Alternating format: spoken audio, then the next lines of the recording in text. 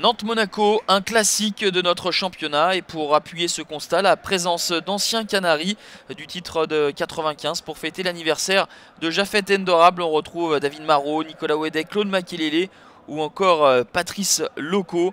Un passé glorieux pour le FC Nantes et un présent qui pourrait être radieux en cas de succès pour euh, les Canaries qui pourraient euh, grimper sur le podium. Et les hommes de Michel Derzakarian vont se donner les moyens pour euh, atteindre euh, leurs ambitions car ils vont être euh, très hauts, très joueurs et très entreprenants en début de rencontre. Un contre favorable qui profite à Alejandro Bedoya, la frappe de l'Américain dans un angle un petit peu fermé. Il aurait pu chercher un partenaire dans l'axe, mais Subasic sur cette tentative de Bedoya se montre décisif déjà. Subasic va de nouveau s'illustrer avec ce ballon pour Sigtorsson, le plat du pied euh, de l'Islandais et l'envergure euh, du portier croate. Il y avait une position de hors-jeu euh, de la part de Sigtorsson. Un hors-jeu non sifflé. Et Subasic pour la deuxième fois de cette première période doit se montrer décisif l'inquiétude de Leonardo Jardim car ces hommes n'affichent aucune réaction et subissent les assauts des Nantais. Bedoya, la passe en retrait pour Sigtorsson une nouvelle fois les mêmes protagonistes. Sigtorsson, l'Islandais, face à, Subasic, le Croate.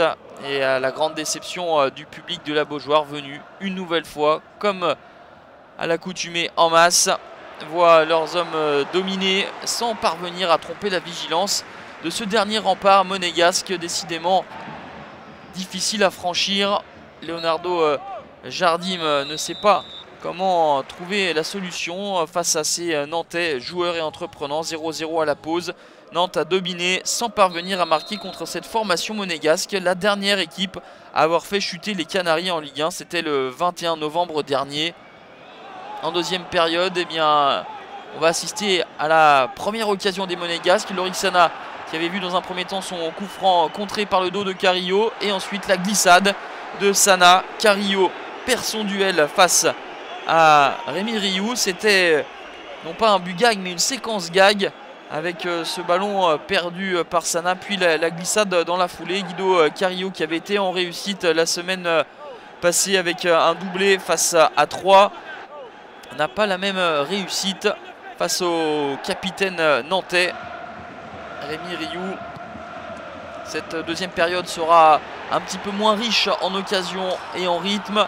On notera toutefois euh, ce coup de pied arrêté et la tête de Rémi Gomis non cadré. On en restera là. 0-0, 13e match sans défaite pour Nantes qui aurait mérité de gagner mais se contentera d'un point pour euh, rester placé pour l'Europe. Monaco assure sa deuxième place avec 8 points d'avance sur son poursuivant.